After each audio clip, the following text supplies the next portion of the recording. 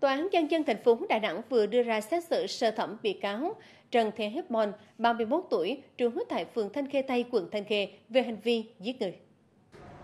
Theo cáo trạng, tối ngày 3 tháng 6 tại một ngôi nhà trên đường Trần Cao Vân, thuộc địa bàn phường Thanh Khê Đông, quận Thanh Khê, trong lúc ăn uống, bị cáo Bon rủ Nguyễn Huy Tân đi đánh nhau nhưng Tân không đi nên xảy ra mâu thuẫn.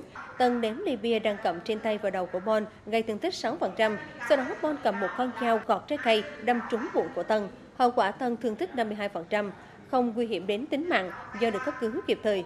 Trước hội đồng xét xử, bị cáo Bon đã thành khẩn khai báo trong lúc nóng giận vì không làm chủ được bản thân, nên đã lấy con dao trên bàn nhậu đâm Tân trọng thương.